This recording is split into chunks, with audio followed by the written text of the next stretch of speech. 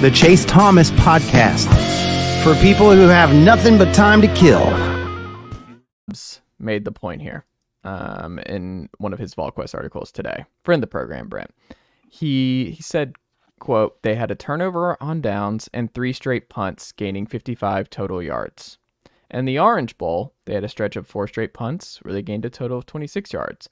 This was something that I had jotted down following the clip where I pushed the brakes, pumped the brakes on how people were discussing Joe Milton and this offense post Hendon Hooker, like over the long term.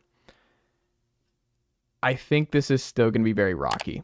I don't think Joe has changed all that much. Like he ran the ball a lot more than I thought they were going to design runs for Joe Milton because he's taken some shots. And I mean, obviously, he had the great stiff arm on uh, that poor Virginia uh, corner at one point in this game. But I think something that I gathered. And also, let's just go ahead and say, I don't think it's a coincidence that the drives where Jaylen Wright was nowhere to be found were the drives where Tennessee's offense stalled. And let's just say it sucked. Like those drives were bad, those drives were quick, and the defense had to go back on the field. And in a previous era, the Tennessee defense is not looking good, and Tennessee might be in a more mercurial spot than where they were yesterday. Just because they're deeper and the defense is a lot better, and Virginia is struggling with this, that, and the other. But I think the way I look at this is this is going to be a significantly more balanced Tennessee team than what we've seen last year. So the fans who are waiting and they're like, oh, it's just game one, it's week one. Let's see what happens over the next couple weeks. We're going to see the fireworks. It's going to start to trickle back. I don't think the fireworks are coming. I think this is going to be a very safe, very quick at the line of scrimmage. A lot of screens. We saw a lot here. A lot of stuff to the back, the the running backs. We saw a lot of stuff there. I don't think they are going to be nearly as comfortable. Joe was one of six on balls 20 plus yards downfield. One of them was a big drop by Ramel, but by and large, still a lot of misses. The touch isn't the same as Hendon. I, I just look at it.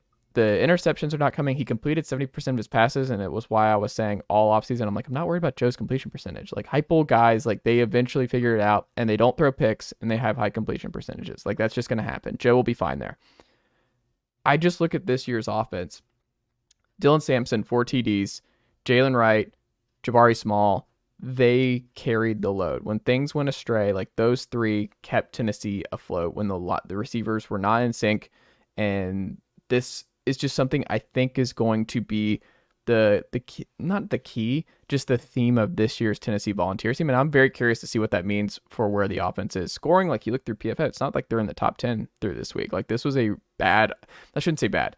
This was a bad in terms of what we've seen from Josh Heupel through two years offensive showing by and large. I don't know why, if you figured out what happened with Jaylen Wright, why he was just absent for so many drives in a row, because it was evident. And that was something I'd written down. Like if Jaylen's out, like this is this is a problem because I think we my biggest takeaway, and I've said it over and over again, Jaylen Wright is the difference maker. Jaylen Wright has made the leap. I don't know if he's Alvin Kamara, but he is going to be the next big running back taken early in an NFL draft. And Tennessee hasn't had that guy in a really long time. And it's, it's fun. It's just fans are going to take a couple weeks, I think, to get used to the fact that the high flying Jalin Hyatt, deep balls, deep shots, I think that's not happening this year. I think it might be back next year with Nico and company. I don't think it's happening this year. I think they're going to play it safe and try and run it down your throat. Well, you just had a lot there, so a lot to a lot to process. I told you that I miss these shows. Well, you said you just asked why Jaylen Wright was absent for multiple yeah. drives. I'll answer that one first. Um, Tennessee played what you called you didn't call bad, uh, but underwhelming offensive mm. game, and they won by 36 points. That's why Jaylen Wright. You, you didn't see Jaylen Wright every play. It's okay. a position that puts a lot on puts a lot on uh, the running backs or, position that puts a lot of physical burden on, on, a someone that carries the ball a lot. And when Tennessee touts its depth uh, all offseason, they do it. They have their three best rush, three top rushers back. In a game like that, they were going to split the carries, and even as clearly better. And Jaylen Wright was clearly the best running back. Mm. When and you're right, in those drives they stalled, it was Jabari Small uh, and Jaylen Wright on the field. Not Jaylen Wright, uh, Dylan Sampson on the field. But even those mm. drives, or even Dylan Sampson and Jabari Small still had good rushing averages. Like they still run the ran the ball overall effective, not at the same level. So me, it's easier trying to get all those guys involved. You're not trying to work anyone too hard in a game. You're going to win again by 36 points. Tennessee heads to Florida. That game's competitive. Tennessee plays South Carolina, and those games are competitive.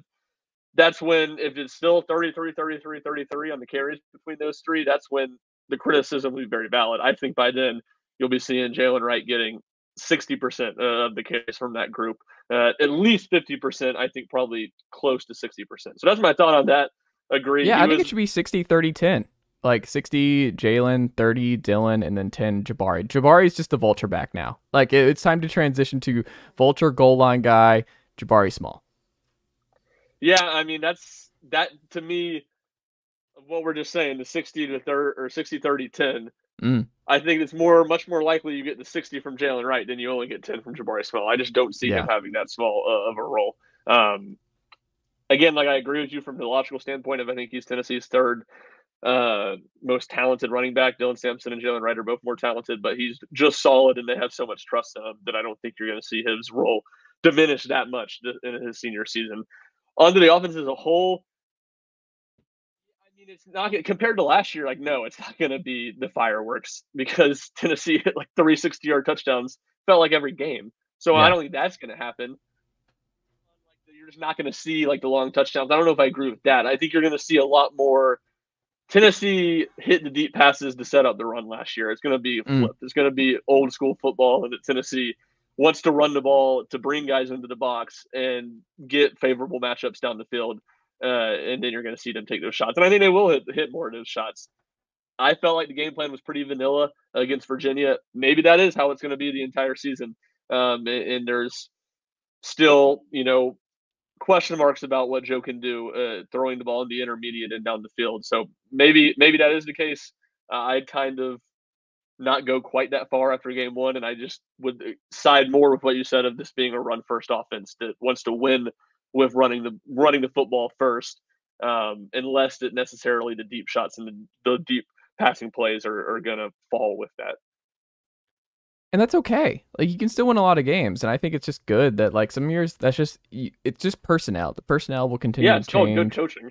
Yeah, like that's yeah, and I think that's the thing is like I don't want to harp on the negative in terms of like, look, Tennessee, the sky's falling, this, that, and the other. I'm just saying it's gonna be different, and Joe being a Heisman type quarterback's not coming. Like they are, this is going to be a run. If anyone in this offense has a Heisman type year, it's Jaylen Wright. Like that's what I was thinking about at. that. Didn't we have a conversation like that in the off season where you were saying what? that? Yeah. That Jaylen Wright was more likely to win the Heisman than Joe. Yeah. No, I, I still disagree with that. Just from like Jaylen Wright's not going to get enough carries. Jaylen what I'm saying might... is, if he did, he would be in that conversation. If he was treated yeah, as mean... like the guy getting 80% of the carries and touches, then I think he has in this offense would have that kind of lane if Tennessee wins enough games. Like I, I very much see the path to like Jaylen Wright being, you know, getting some Heisman votes where Joe Milton doesn't, or theoretically yeah. being higher on the list. But just the ceiling that Jaylen Wright has to win the Heisman is, you know, I'm not. I think Joe Milton's going to win the Heisman, but that that ceiling is much much higher for him. I think more attainable where I I don't really think it is for right. Um, what was when you look at the special teams? Dee Williams giveth, Dee Williams taketh, bad fumble um, at one point, um, but he also had some big runs. He's still just an unbelievably dangerous returner, and it's just fun to yep. have guys like Dee Williams on your team um, because he could break one at any given moment, and that's just going to be fun every week. But he's also someone who, if he gets hit weird or he does, there like there was another play where he like had put his heels in the end zone um, to down it on the one and you're like, okay, what are we doing? Um, there's a couple of those, so it's just I think it's just going to be that kind of kind of year, and you just kind of have to live with it. But in terms of Jackson Ross, Ryan, we you and I talked a lot last year about Paxton Brooks and like the sleepy little thing of like maybe why Tennessee was going for it a lot and they were very aggressive was just that like Paxton was one of the worst SEC punters um, a season ago and you thought it couldn't get worse in terms. Of-